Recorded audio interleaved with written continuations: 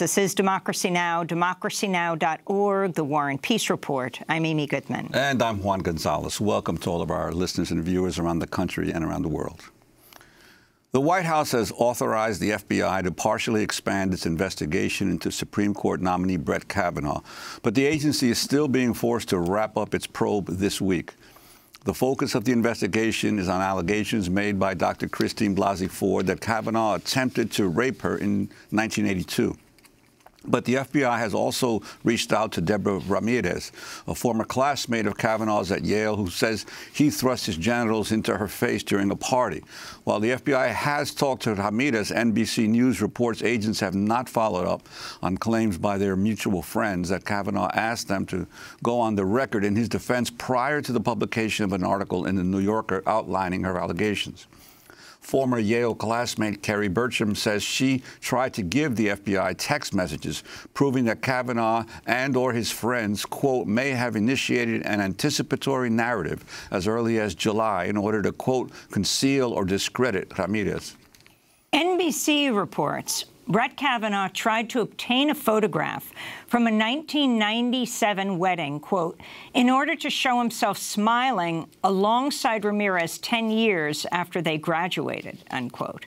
While the two did appear in the same group photo, a friend of Ramirez said she attempted to stay far away from Kavanaugh and his friends during the wedding. Kavanaugh reportedly initiated the contact with former classmates before The New Yorker published its report about Ramirez on September 23rd. This seems to contradict his testimony Thursday when he was questioned by Republican Senator Orrin Hatch. When was the first time that the ranking member or her staff asked you about these allegations? Uh, today. When did you first hear of Ms. Ramirez's allegations against you? Uh, in the last in the period since then in the New Yorker story. Did the ranking member or any of her colleagues or any of their staffs ask you about Ms. Ramirez's allegations before they were leaked to the press? No. When was the first time that the ranking member or any of her colleagues or any of their staff asked you about Ms. Watch. Ramirez's allegations? Today.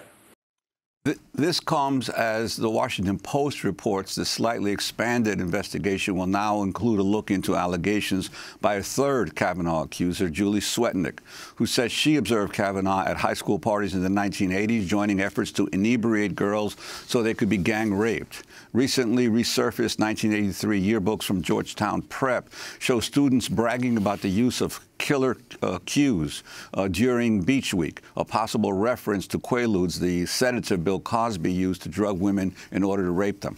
Now a group of alumni from Brett Kavanaugh's all-male private high school has issued a call for fellow graduates of Georgetown Prep to come forward if they have information about any sexual assaults possibly committed by the Supreme Court nominee, saying in a petition, quote, please do not remain silent, even if speaking out comes at some personal cost.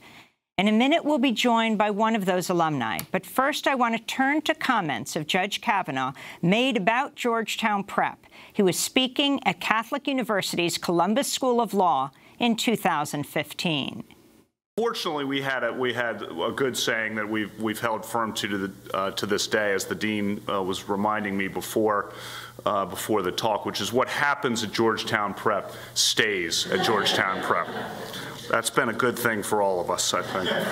Well, for more, we're joined by Bill Barbot. He was a freshman at the all-male Georgetown Prep High School when Brett Kavanaugh was a senior. After Kavanaugh's testimony Thursday, Barbot co-authored the petition calling on fellow graduates to come forward if they have any information about any sexual assaults possibly committed by the Supreme Court nominee. Bill Barbot is joining us by phone from the Washington, D.C. area. Bill, welcome to Democracy Now! Can you talk about why you started this petition and how many people have signed on so far? Uh, yeah, I was um, we were first moved to to do this um, because we felt that it was stunning to me that we, as a community, I believe, know so much about what was going on during the 80s in the in preps party culture, um, and that there were many graduates of the class of '83 who were close to Brett, but who have not shown their faces. They've not they've not spoken out about what was going on, either in his defense or in Dr. Ford's defense. Um, and so I, I, was stunned by that silence and felt we have to try to do something to to shake my classmates and my schoolmates up and get them to think this is an opportunity for you to do the right thing. And if it if if our little petition and our drive to get them to speak um, gets even one of them to say something, then I, I feel it's been a success.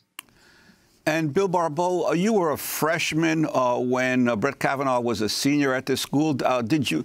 Uh, how well did you know him? And when you were saw the testimony, how did that jibe with your recollections of what he was like?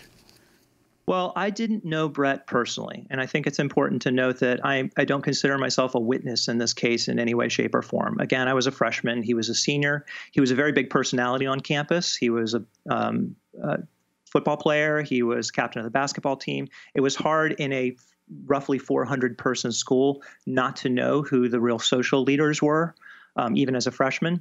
Um, so I knew him and his crew more by reputation than personal observation.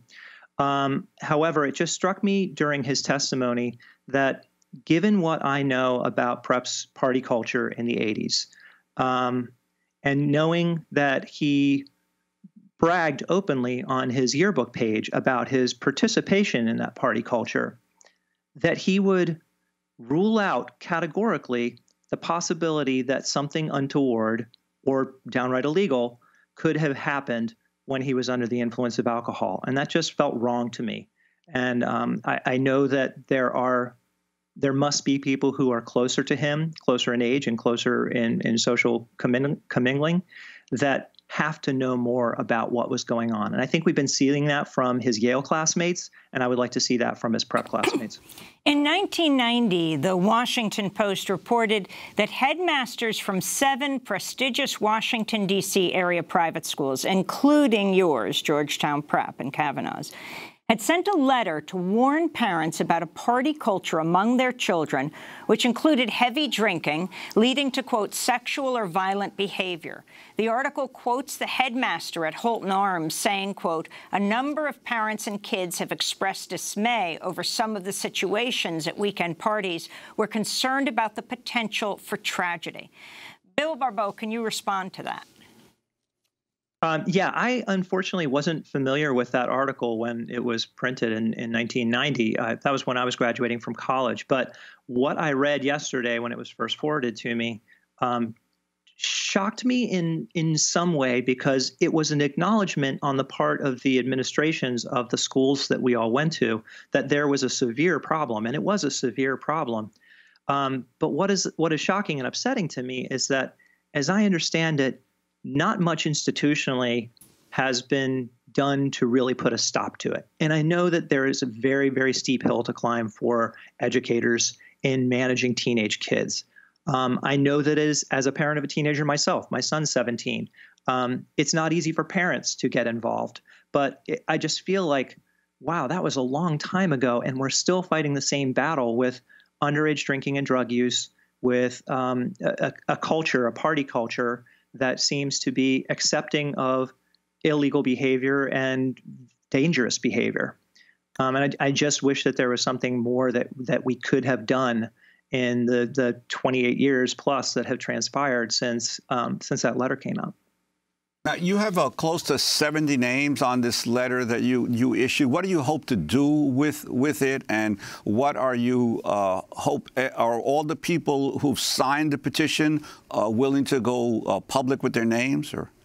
Well, it's it's closer to 100 now. I actually didn't look at the number this morning. I should have. It's it's been growing since um, we released it on Saturday, which um, it's probably a tricky day to try to get people to pay attention to it. But since we've started to get some news coverage on it, um, we've been getting more and more signatories. Um, and we've been very judicious with uh, how we're going to proceed because there are a number of folks who signed who, for various reasons, such as they're employed by the federal government, can't have their names released publicly, um, but did they did sign it in that they wanted to indicate support. So we're having to be very thoughtful and we're contacting everyone individually to make sure that they are aware that we intend to go public with their name, make sure that they are who they say they are, and that we didn't end up with some false entries. Um, but the concern that I have right now is that I'm not all that sure how interested the FBI is in our list. Um, they have their hands full, and that's what is so uh, urgent about this situation to me. Is a week is not very much time for the FBI to conduct a very thorough in- investigation. Um, they have to identify, locate, and interview a lot of people if they really want to get to the bottom of this.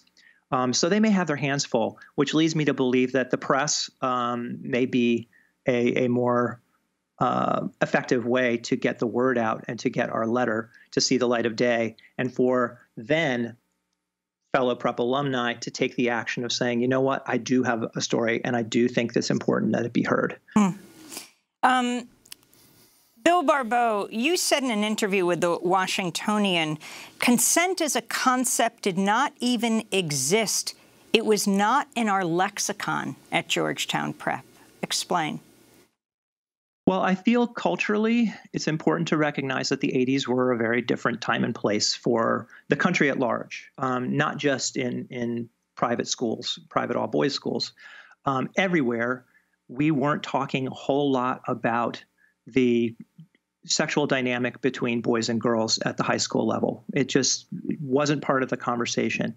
When you compound that by having an all boys private school that's Catholic, um, the likelihood of meaningful conversations between administrators, between parents and kids, um, coming up to try to recognize the fact that there are thousands of shades of grays between the gentlemanly conduct, which was which was the the shorthand at the time to tell us how we were supposed to behave around girls, um, and and down and out rape. Um, there's so much nuance in there, and it's a lot to cover. And there needed to be, in retrospect, hindsight is always 2020, a more concerted effort on the parts of parents, administrators, the school itself to to lock horns with the fact that good kids do do bad things, um, especially when alcohol is involved. Mm. And I think it's easy to criticize them now through the lens of 2018.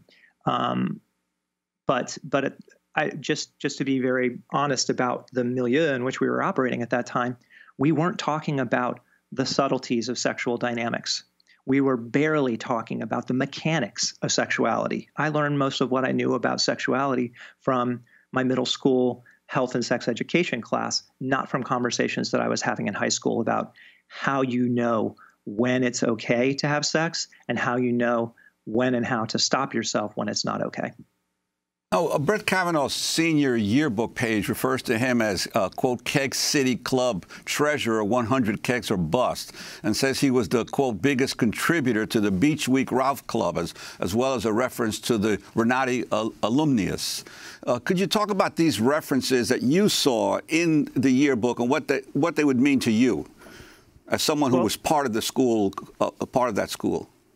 Sure. Um, as with many private schools that have a whole page dedicated to each kid, it is a place for you to commemorate your time at school. It's it's your way of of writing your thing, writing your name in the wet cement so that you're for all eternity um, locked down. It's a way to commemorate inside jokes that you have with your friends, um, and and just to basically have a laugh because we didn't have Instagram or Facebook then, so you couldn't go back and and take a look at the old photos any by any other means besides looking at your yearbook. So collectively, we all made up a lot of stuff. Um, some of it could have been exaggerated, some of it could have been entirely faked. Um, but what I saw in on Brett's page was a a championing of the drinking culture.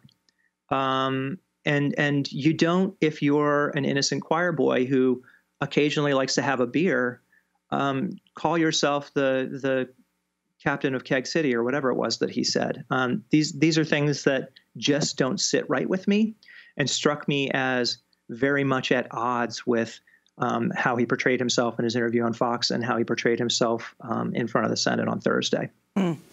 Bill Barbot, the editors of America magazine, the national weekly, published the Jesuits of the United, published by the Jesuits of the United States, called for Kavanaugh's nomination to be withdrawn. Your school, Georgetown Prep, where Kavanaugh was a student when he allegedly assaulted uh, Christine Blasey, is a Jesuit high school. Can you talk about what that meant to you when the Jesuits came out against Kavanaugh? Uh, I felt it was a very powerful statement. I think that there are a lot of folks who are probably listening to me speak right now who are saying, Why are you doing this? Why are you trying to take down your school? I'm not trying to take down my school. From my perspective, I'm trying to stand up for my school. I'm trying to stand up for all the good men who have gone through that school. I'm trying to stand up for what I believe were the values that were instilled in us as students there of truth, of honesty, of integrity. Um, and so I felt vindicated in a way um, by the Jesuits choosing to withdraw their nomination because I think they recognized, as do I, that in Brett we have, like all of us, a, a flawed human being. But he's not acknowledging those flaws and he's not embracing the fact that we all have pasts, we all have the ability and capacity to make mistakes, but you atone for them. You lock horns with them. You acknowledge them. You realize that you could have caused pain for another human being. You don't run away from it. You don't hide behind um, verbal gymnastics as he was doing on Thursday.